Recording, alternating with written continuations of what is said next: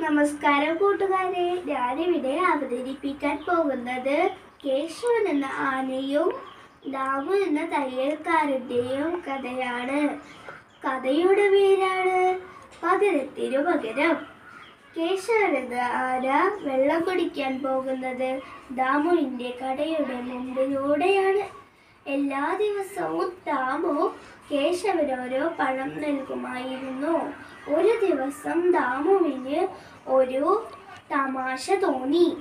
പഴത്തിനു പകരം സൂചി കൊണ്ട് ഒരു കുത്തു കുത്തി പാവും കേശവൻ വേദനയാൽ പൊളഞ്ഞു. ദാമുവിനൊരു പാഠം പഠിപ്പിക്കണമെന്ന് കേശവൻ ചിന്തിച്ചു.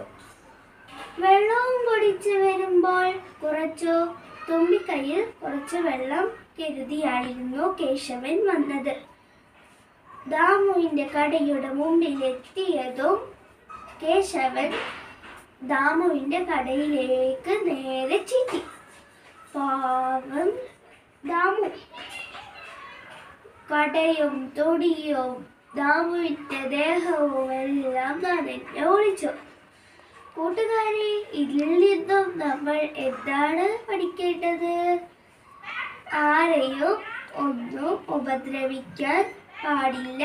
ഉപദ്രവിച്ചാൽ നമുക്ക് അതിന്റെ പ്രതിഫലം തിരികെ കിട്ടും. നന്ദി.